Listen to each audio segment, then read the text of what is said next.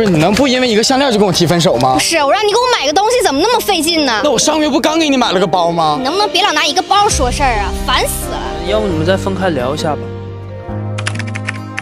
他那一条钻石项链要我两万块钱，我现在所有钱都投到公司里去了，他就不能等我挺过这段时间再买那么？